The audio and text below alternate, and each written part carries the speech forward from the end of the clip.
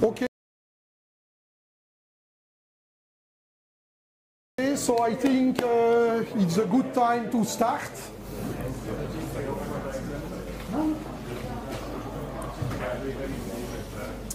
So this talk is about successful and not yet successful optimization in Valgrind. So the first question you might ask is how do we classify the successful and the not successful? Uh, a colleague uh, at my work has said the successful is what I'm writing and the not successful are the one that the others are writing. And no, in this case, it is not that classification that I will use because I will speak about two optimizations that I did and one which has been committed in the SVN uh, repository and the other one not committed, not committed yet. So, the content, I will speak about two optimization, uh, the generalization and optimization of the Massif execution tree concept. So uh, I don't know how many uh, uh here were there at the talk of this morning where I've described the functionality of the X tree and here we will speak more about its internal implementation and as, as uh, we have seen this morning this has been committed. And then I will speak about another optimization which is optimize the stack trace recording which is done in Helgrind, and this is not committed yet, and we will examine what, uh, why. So Massif execution tree, quick reminder, it maintains a heap profile and this heap profile associates the allocation stack trace with the allocated memory size. And so for each allocation, what does Massif do? So it has to get the stack trace and it has to insert it in X3 if this stack trace is not yet present. And then it has to add the newly allocated size to the stack trace memory size. And um, after, because it has to be able to, when we do a free operation, retrieve this stack trace in order to decrease the memory used by this stack trace, it is adding the allocated block and the pointer to the stack trace uh, stored in X3 in an hash table. So malloc, we do this, and this as part of malloc is done so that when we do the free operation, we can retrieve the stack trace that uh, allocated uh, the memory so that we can decrease the currently allocated bytes by the stack trace. And so for each day allocation size, using this hash table, we subtract the allocated size that has just been released from the stack trace memory size. So this explains basically the Massif algorithm uh, using uh, the, the, current way it is done. So here I will explain more in detail how it works on this example where we have function main which is calling x, a, o and then x again and then you see x is calling y, y is calling a malloc. By the way you see it will be lost but that's not the point. and uh, similar uh, uh, uh, call, call from uh, A calling B, B calling malloc, and then you have function O directly calling uh, malloc. So with such a call, we will end up with such an X3 in uh, Valgrind 3.12. So the way the tree is represented in 3.12 is quite classical. It is just you have a top node and then you have children and uh, from malloc, if we see for example that main, the stack trace main calling A, calling B, that is called malloc, uh, this will be stored in the tree with pointer uh, in this direction. Now we also have to store pointer in the other direction because when we add the, the stack trace in the tree, we will add it like this. But when we will release, when we will free the, the block which has been allocated by the stack trace, we have in fact to, to, to start from here in order to, to decrease the size of all the blocks which are, uh, we, of all the functions which are in the call stack. So this is a classical tree representation with pointers to children, but we need back pointers. So in, in Valgrind 3.12, we also have back pointer in the tree in order to go up and down in the tree. So this, the data structure, uh, again in 3.12, which stores this, is represented, is shown here on, on uh, uh, the screen. So we have the code address of such a, a, a, block, eh? so of a, certain call uh, in the stack trace. So for example, this might be function A or might be function B or uh, might be main, is a program counter inside main or inside function A or inside function B. Then here we record for uh, the, uh, uh, so this in 3.12 terminology, this is an execution point, so one of these uh, uh, small square uh, rectangle that I present. And we store here the size of this block, and for the bottom execution point, so uh, the, the, lowest uh, level in the tree, it is the size for this precise stack trace. And so after, when we, if I go back to the previous thing, so here, these are bottoms execution point, and we see here a non-bottom execution point. The size here will be the sum of the things which are pointing back at this, uh, uh, uh, at this execution point. And so after, we also need the children, an array of uh, uh, a pointer to an array of pointer to children and because each time we are adding a uh, new um, uh, a new stack trace, we might have to expand the number of children. Uh, here we have an array which is bigger than, uh, than needed, and so it's expanded from time to time. So this is the real number of children, and that's the max number of children we can add, because for example, the size of this is doubled each time we reach something too, too small. So that's the data structure in 3.12. So Massif snapshots, how are they implemented in 3.12 based on this, on this thing? So the, the Massif uh, snapshots, they record the evolution of the allocated memory. You have the summary snapshot, total memory size, the detailed snapshot, in 3.12, a detailed snapshot is a trimmed down copy of the Massif X3. So this data structure with, with pointers and so on, when Massif takes Massif 3.12 takes a, a snapshot, it is cutting bit and pieces of this tree. Effectively, what Massif is doing is that the non-significant stack traces are aggregated. So if you use Massif, you know that it will show you by default the stack traces uh, uh, which are significant with full details, but when a stack trace is allocated less than a certain percentage of the memory, it will regroup all that in what is called a non-significant stack trace. And when Massif takes a snapshot, it will copy the X3 and then group together the things which are not significant in order to reduce the size of the snapshot. So the non-significant stack traces are aggregated in 3.12. And so uh, we have in fact, when we take uh, a, snapshot, we have a parallel data structure which is used to store the snapshot. So we had execution point, and here we have snapshot execution point, which basically has things that we recognize. We have the number of children and a pointer to an array of pointer to children. Here, we don't need anymore this max number of children because this is a snapshot and it will not grow anymore. It will not change anymore. So we don't need to oversize this to, avo to avoid permanent reallocation like in the real original snapshot. And then we have here something which is for the non-significant part of uh, the, the snapshot execution point, which records uh, the things which are insignificant. So in 3.12, we are using a classical tree representation with bidirectional pointer, and then we have a kind of parallel structure which is uh, derived from the uh, full uh, X3 uh, snapshot. So the Massif output ms_print you recognize uh, here, and the production, uh, you, you, see the structure of this matches uh, the data structure that we have that we have seen. Like for example, we have here 0.25% in one uh, place, which are below Massif threshold. And basically, this structure is just produced from the snapshot X3 data structure that I've explained the slide just before. So now this I have quickly described how it worked in 3.12 and now I will describe what were the objectives for the new implementation. So of course the first objective was to still support Massif e-profiling. It would be a little bit sad that the new stuff would not support Massif.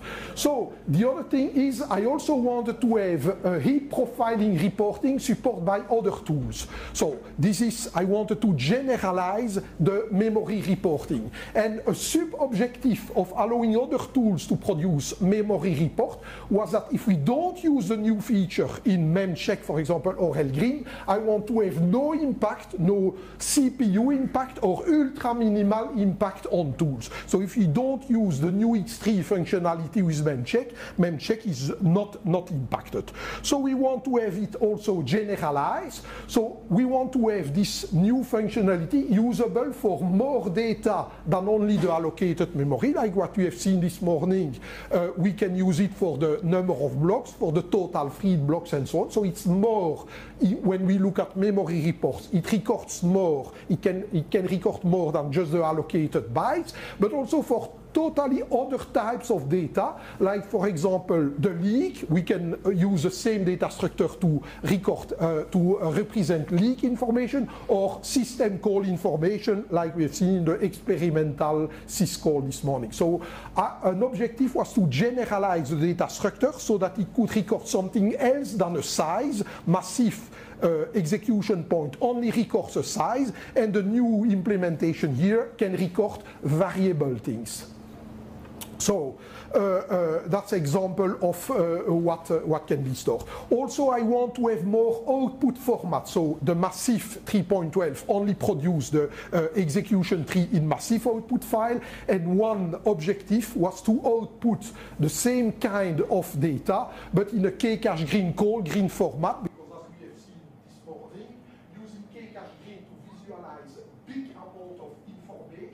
like a lot of uh, stack traces or various events.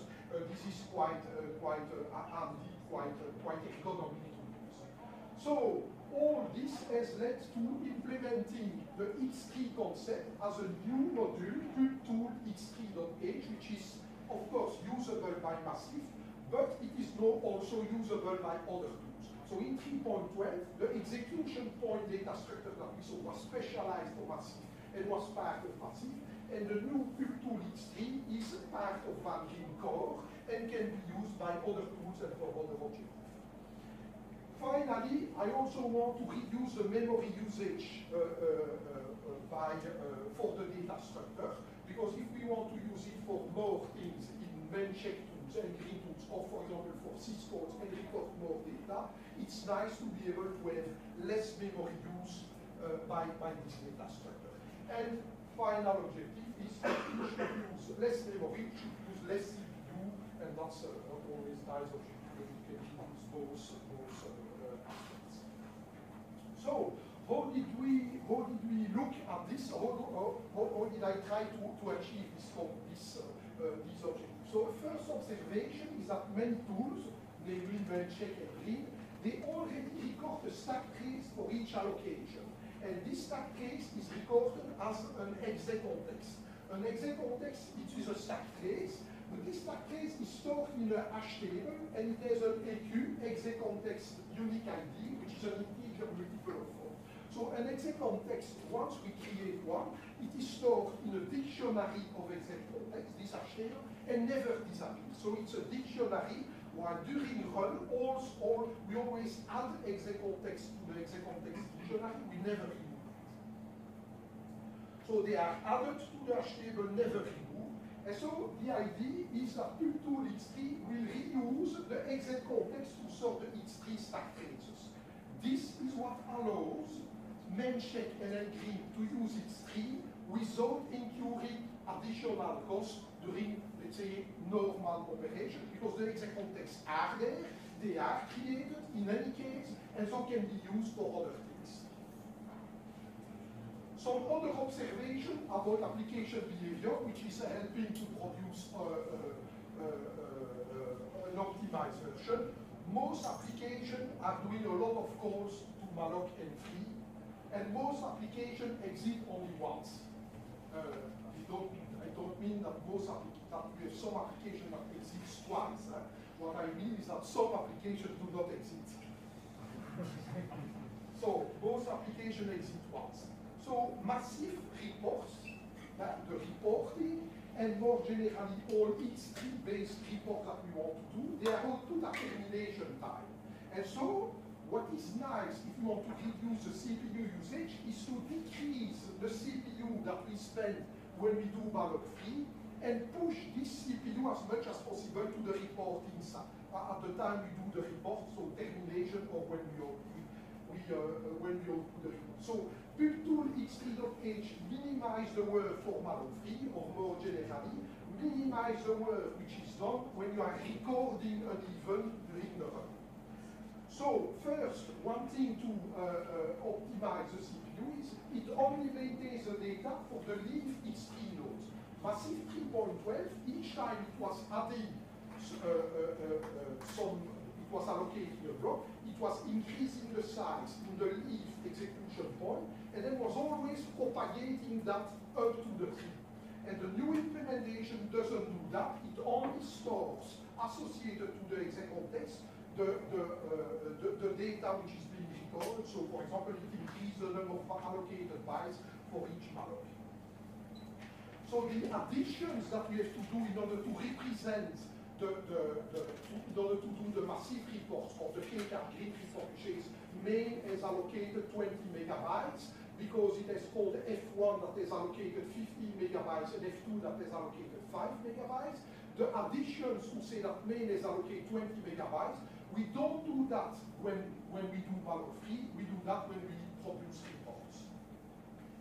So how is the data structure looking like in 3.13 SDF? So the basic idea is we have an array of data. So first difference compared to the execution uh, uh, point that we have seen with, with uh, Massif 3.12 is that the data is a simple, so the, the, where we store the data, it's a simple array, which is here is a number of allocated bytes, here is a number of allocated bytes, here is a number of allocated bytes. And this is associated with exec context using two other arrays. So you remember an exec context as an EQ, uh, uh, uh, a unique identifier, which is an integer multiple of four. So here we have here an, an, uh, an, array which is storing pointers to exec context. And how do we know when we have an exec context where it's stored? We have here another array which is used as, uh, uh as a table to retrieve the offset in this array and in this array where the data is stored. So imagine, for example, that we have uh, uh, various exec context and so we have maybe an exec context which has an EQ which is uh, uh, uh which is uh, four, uh, sorry, which is eight. So eight is identifier of the of an exec context. We divide this by four, and then we obtain two, and this two is the we will record the offset in this array and this array where is where we store the pointer to the exec context and the data. So this array divided by 4 EQ to XEQ. So XEQ is a new unique uh, exec context uh, identifier, which is in fact the offset in this X3 data structure.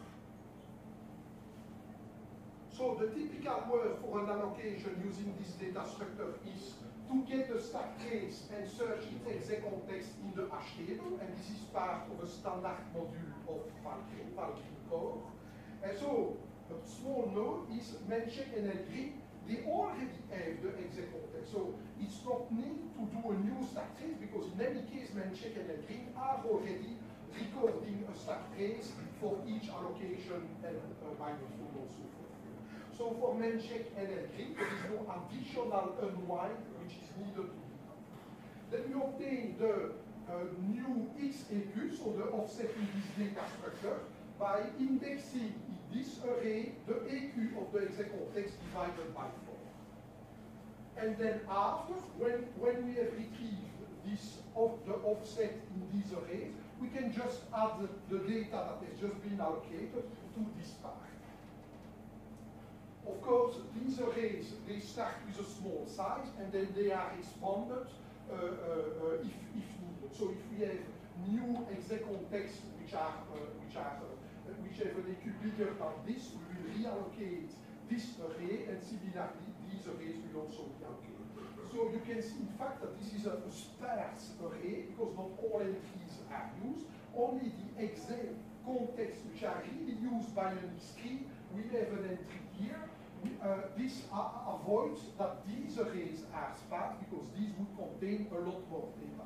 This is bigger, so this is a simple integer, that's a pointer and two integers, and this is variable size data, which depends on the reason for which you are using the X3.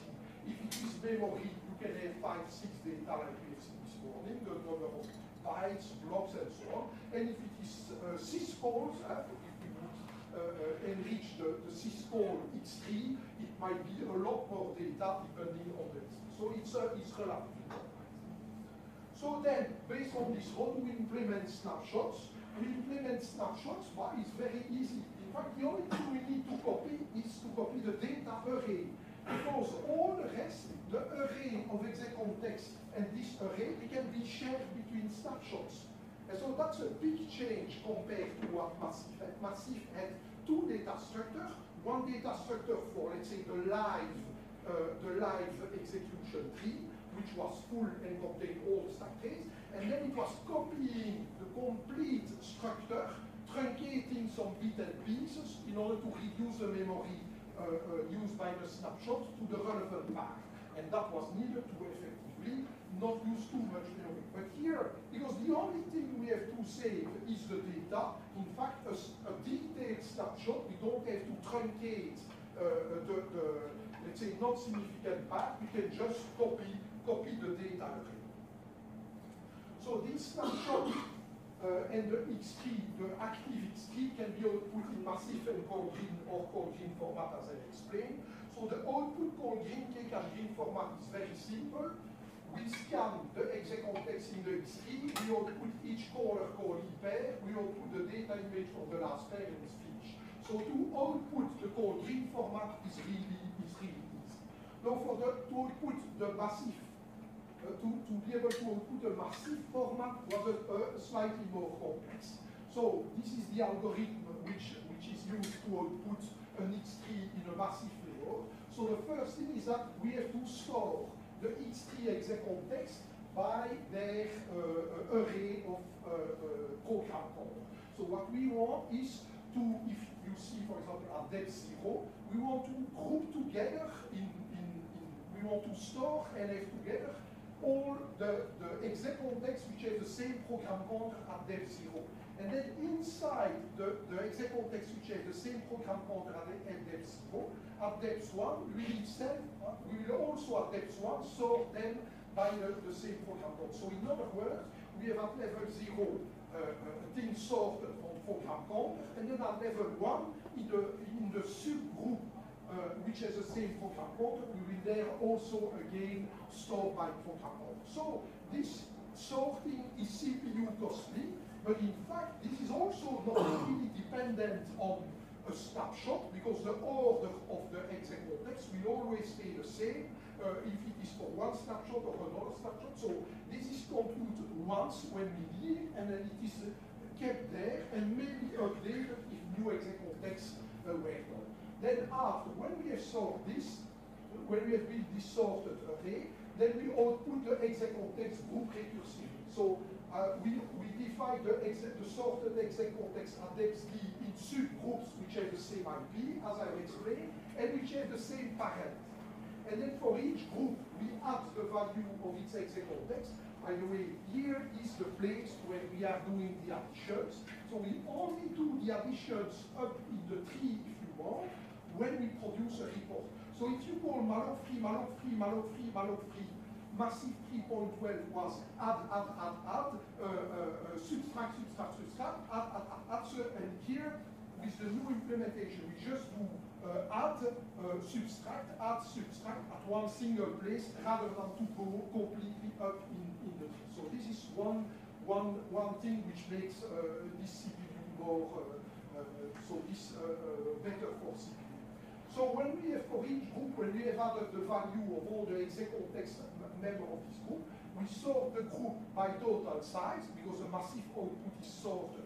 The bigger group at the beginning and the group having allocated less after. And so for each group sorted by total size, we output the function, the total, and then we recurse we output the exact context of the group, but at one at the depth uh, uh, n plus one. So the, I managed to, to uh, put the algorithm on one slide, but if you look at the code, it doesn't fit on one page. A, a so, some stats measurements uh, based on uh, uh, this. So, uh, first, what is the size of the new X3 module? So, this has added about 1,400 lines of C code, and uh, so source comments and so on included, and uh, slightly more than 400 lines of .h, which describes the interface to the new X3 module. Massif, the size of Massif code is decreased, 500 lines less. And now what is interesting is to see how much code we have to write in order to have a tool using the new module. And an example, Helgrind, in order to have Helgrind be able to produce a memory report and also respond to VGDB command to output an X3, it's 42 lines of code. So you see, by doing a module here, which is more code than we had before, we have it usable by other tools with a very small amount of additional, uh, additional code, and we have, of course, additional functionality because it is more general, all should can be. So now some real-life performance measurements. So this uh, have not been measured on this laptop, but on a very fast machine, so 4 gigahertz core. Uh, uh, and uh, I did this measurement with an ADA application, which I'm using my work. So it's a graphical map application, which is starting up, loads a lot of data, and then with this thing, I did a refresh, and then it exits. So it's this uh, it's doing 2.5 millions of malloc and half a billion free and we have in total in this application 85,000 different allocations stack trace, 35,000 different fees stack trace, an average stack trace, uh, stack trace size of 24 frames.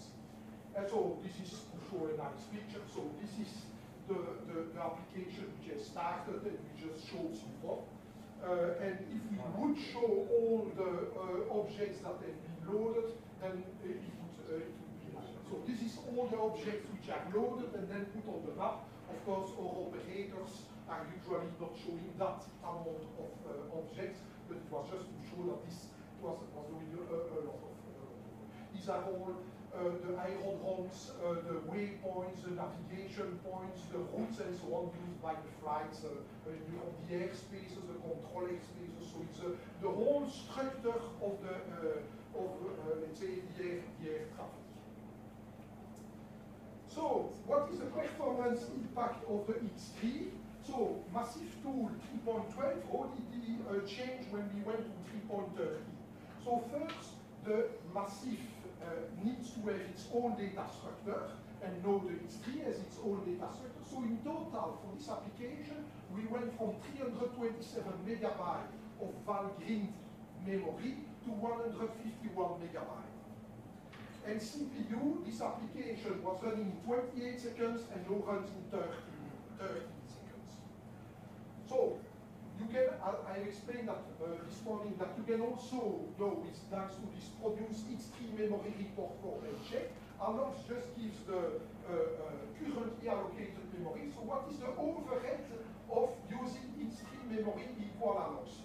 Well, easy, during, during run, if you do this, no, no impact. There is no additional impact, zero impact. And of course, if after we have to produce when we end up the X3 file, so if for this application it's a file of 40 megabytes and it's produced in about 0.5 seconds. Fast, fast machine SSD.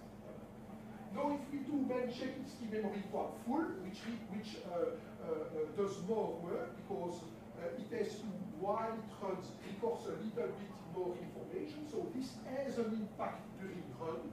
So it's, it's a neglectable impact during run because I explained, the exact context is already captured. And the only thing which has to be done is a few indexing in this array and then do some, some additions.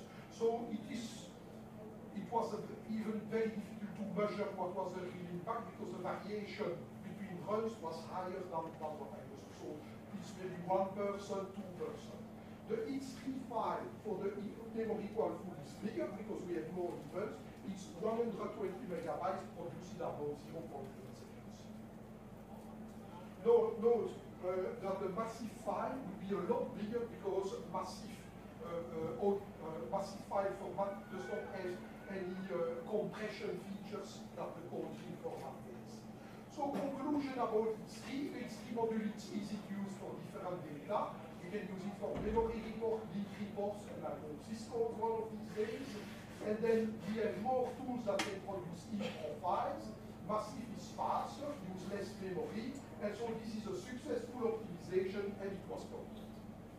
Okay, now let's switch to the other optimization, uh, which is not committed, and that's Helgrind history level equal full. So this uh, parameter to Helgrind uh, uh, tells Helgrind to record to report two stack traces for a race condition. It reports the current conflicting access and the previous access. And this is an example. This is the current access, and that's easy to obtain because we are entering just detects a race condition, so just unwinds and this, this stack trace. But it has to tell uh, the stack trace, when we give this, of the previous stack trace which has accessed this memory. But of course, we can have a lot of these uh, uh stack traces. If you have 10 threads which are playing, maybe a lot of them have accessed uh, a lot of memory, and so we have to record uh, record a lot of stack traces uh, to report uh, this error.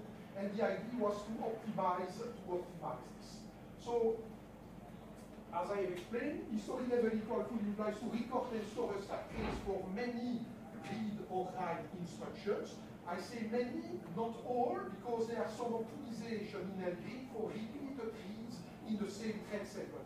Basically, to see the coordination between threads, and we can say between two coordination, we call this a segment, and as long as you are inside the same segment, you, we might optimize uh, the recording and not necessarily record all the stack trace for all access to, to, memory. So the Valgrind stack trace unwinding is very optimized, but it's still costly. Julian has done some measurement, I think, two, one to two years ago, to, to evaluate the cost of the unwind on the uh, uh, x86 64-bit, and to unwind one level of a stack trace. So, for example, you have main, it A, B, C, to see that, to, to, to, to detect that C was called by B. This is unwinding one frame, and this costs about 220 instructions. So, so remember that we might have to record a stack trace for a lot of reads and a lot of writes. So it means that if you want to record a stack trace for one read, you have one instruction, and then you might, if you record eight frames, you might have to execute something like 2,000 instructions, but only to do the unwind, because after you still have to store it somewhere. So you see Helgrind is it's really a heavy activity, and it's storing a lot of these stack traces. So what is the cost of this history level equal full? So if we, again, I've used my, my graphical application, which is a multi-threaded application, by the way. With history level equal done, it runs in 46 seconds. With approx, which just records the two, the segment start and segment end of the race condition. It's almost the same cost because that's only when we have thread synchronization that a, a, a stack trace has to be recorded. And when we, we use history level equal full, we have about 73 seconds, so significantly more. With this application, we have about 120 million stack traces of 8 frames that get to be computed, and the measurement I did was 20 seconds of this additional time is used to compute the stack trace, the unwinding, and 7 seconds is needed by the overhead of storing them somewhere in a specialized data structure. So we see that a lot of the cost of the historical full is the unwinding, and a part of the cost is the storage. So, uh, recorded stack trace, let's take, for example, the, the program which, uh, uh, for which I have shown the race condition. We have here x++, and it's unprotected uh, uh, uh, modification relative to the parent thread. And so the question is, how many recorded stack trace for this child function? So we have one access is, do you have an idea how many stack traces are recorded by Helgrind for this? I see that Julian is thinking. I, don't know the answer, but I'm sure the answer is too many. not really, but you might imagine there is one access, and so there will be one one stack, stack recorder. No, not really.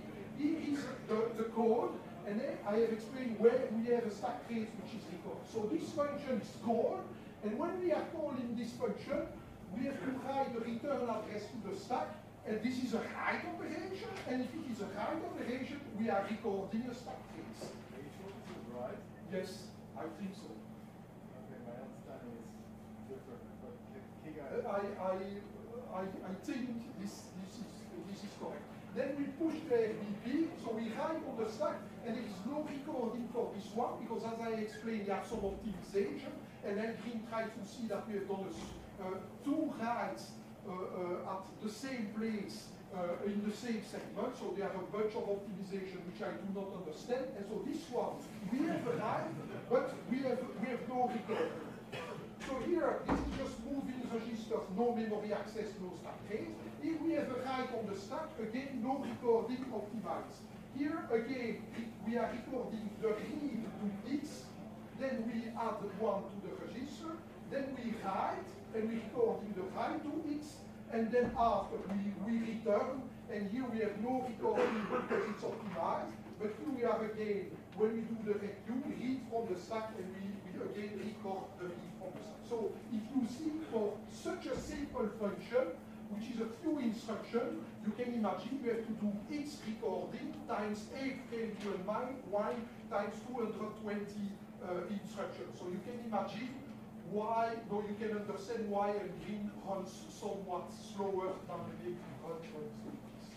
So observation about stack trace, many instruction, most instruction, in fact, we only change the top instruction pointer. So that's a nice observation to, to see, and that is the basic idea with which I optimize the stack trace recording. So the optimization idea is to cache the last computed stack trace, and so if the cache stack trace is valid, then the new stack trace is the cache stack trace, but, and we just replace the last instruction pointer of the stack trace by the current instruction pointer. Now, of course, that's easy, but we have to invalidate the cache stack trace sometime. So the cache stack trace is invalidated by any instruction that changes the control flow. For example, call, return, etc.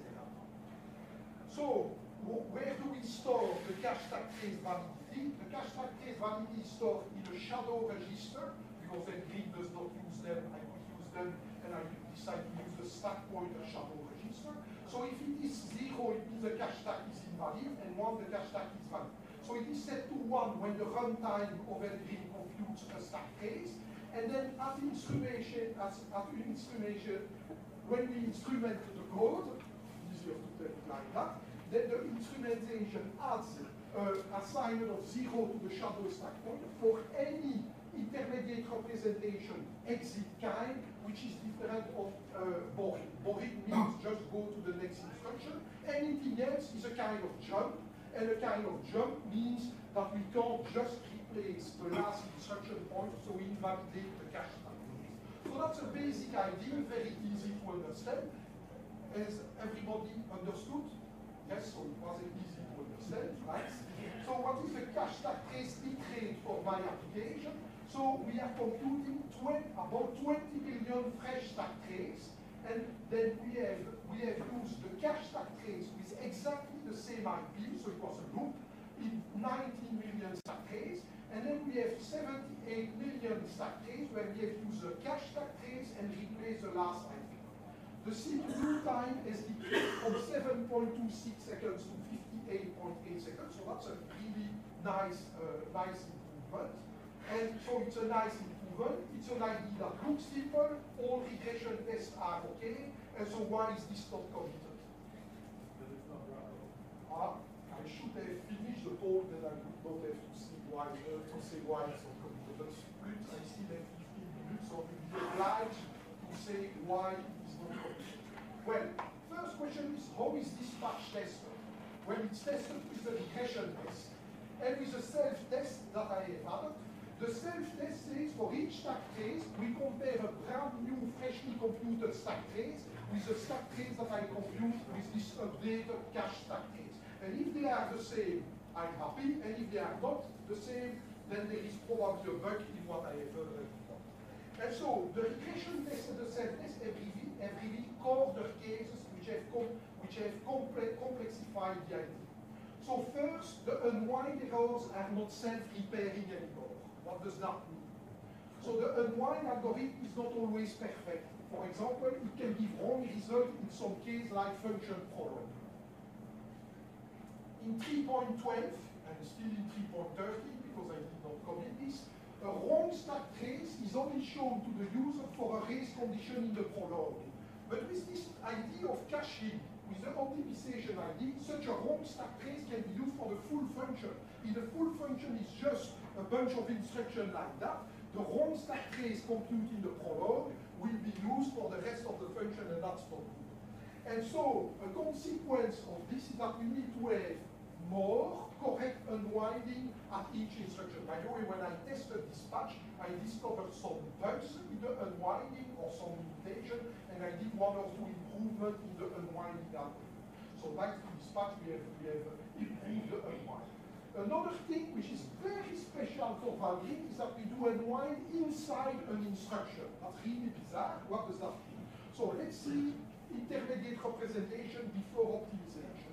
So we have here the push uh, push uh, instruction, and we see how this is translated. So we take the base pointer we assign to T0, we compute the stack pointer minus 8 we assign to T1, we assign the new value to the stack pointer, and then we store uh, uh, T0 in RVP, and then we go to the next instruction. So this is uh, before instrumentation. After instrumentation, each write might have additional calls to help us, to help us which have to do an unwind. So this, this thing will have to unwind, compute a fresh stack trace maybe if it was not invalidated. And here we are in fact in the middle of an instruction. We have already changed the stack pointer, but the instruction pointer, the program pointer is still the, the, the thing. So we have unwind information in the debug info, but the unwind information describes what to do here or what to do there. It doesn't describe what to do in the middle of something being done. And that is somewhat annoying. Again, not really impacting 3.12, because this kind of thing push unlikely to have a race condition there. But if we reuse this stack trace for the rest of the function just changing the last IP, it might become wrong. So to see, I have added a feature which is, I have added properties to instruction, which indicates to fix up the stack pointer. The to mark the push, push-like instruction with a fix-up property, and then the generated helper calls, when it sees on a, an instruction which has this fix-up property, will automatically fix the stack pointer so as to, to, uh, to redo the addition which, uh, which uh, compensate for the fact to be in the middle of the instruction. So here, when the, the, at the instrumentation time, we, when this has been marked as fix up SP, then the generated code, here we call the same kind of helper, but indicating that the fix up has to be done. So invalidate cache stack trace, another problem. Reminder of the simple invalidate ID, instrumentation as puts uh, uh, stack, uh, cache stack valid at the end of the block for everything different of boring.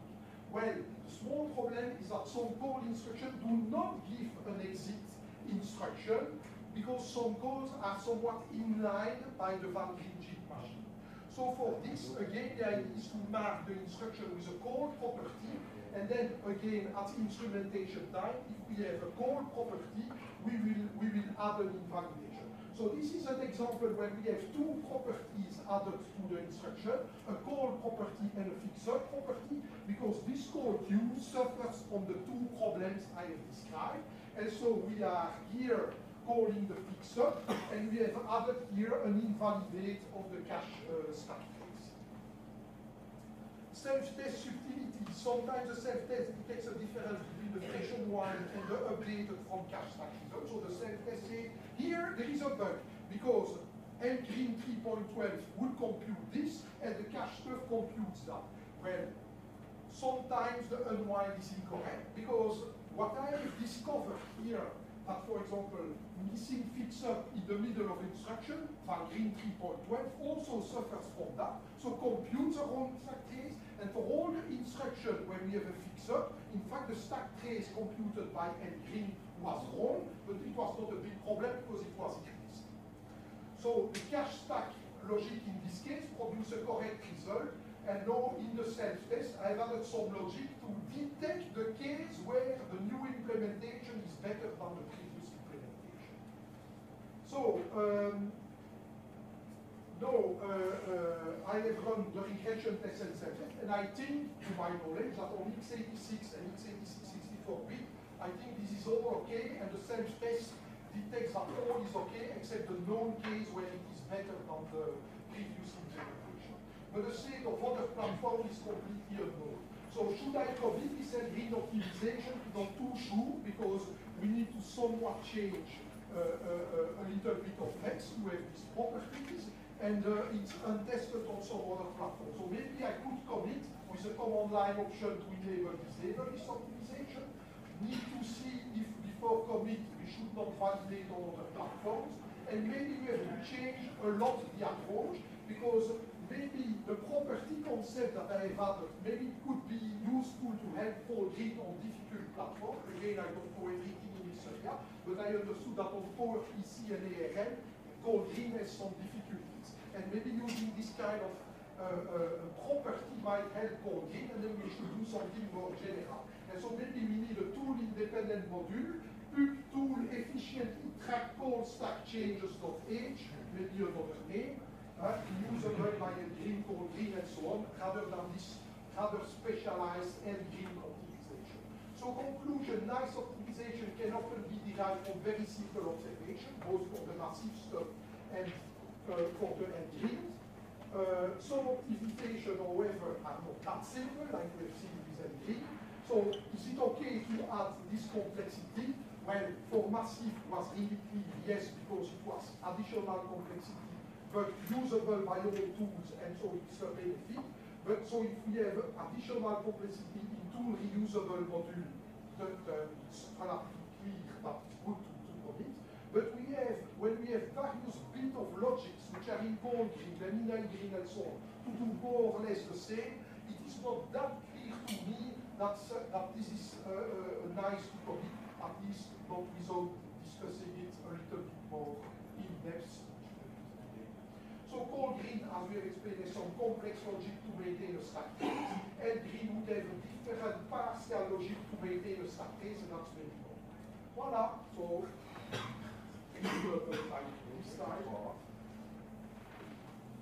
Some questions?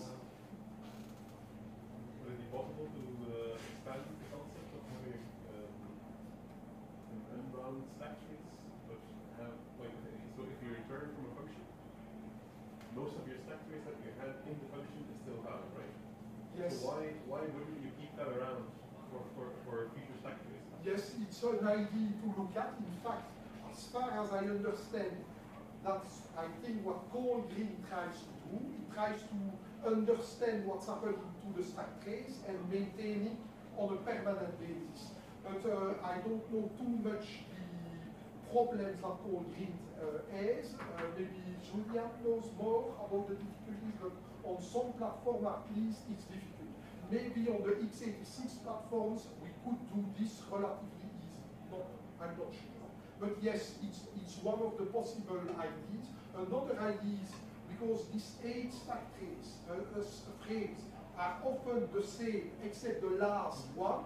another idea I had was to in fact store only once the common thing and only have a pointer to the eight uh, stack trace and an additional telling replace the last one. So it would decrease the memory. So yes, this type of approach might open the door to other optimization, but the question is, should we invest more in this approach or should we invest on uh, this, uh, uh this uh, nice uh, new, new module here that, that we, we, should maybe uh, develop.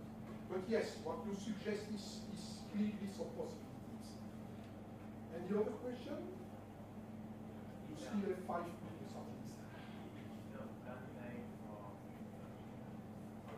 next session. Uh, well, usually, uh, no, there is no plan, but uh, it's about one per year, uh, usually. So I guess around September uh, is the most probable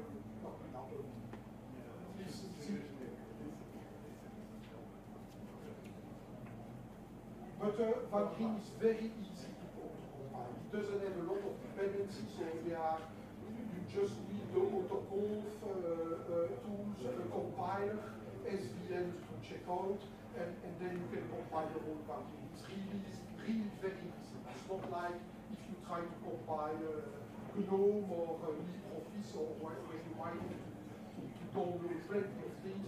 If you want to experiment with an SVN version of Valgrind, it's really trivial. If you, you encounter difficulties, send uh, you have discussions or so. You are welcome to try the new version before it is released. And usually it works. For example, at my work, and I'm working with plates. So if it crashes, it might be annoying. At my work, we, we use, we routinely use the uh, recent of of SVN for really big, big, uh, big applications. So yes, the SVN version Other